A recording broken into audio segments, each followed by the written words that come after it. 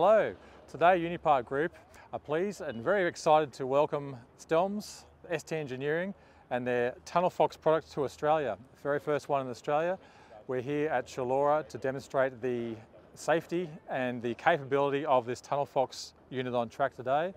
It's a platform that is able to assist rail operators to work safely in the rail corridor and avoid danger.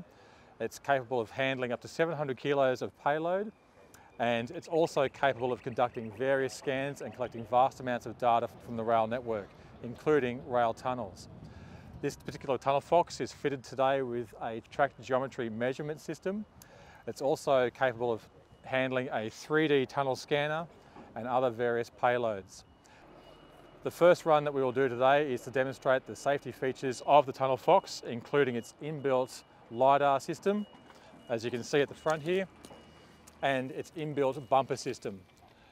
The inbuilt radar or the LiDAR system built into this unit detects objects to avoid collisions and is completely independent of the operator. So if the operator misses something, the TunnelFox will pick it up and stop remotely.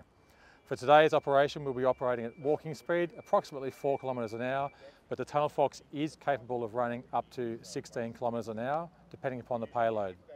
Let's take a look. が降てきま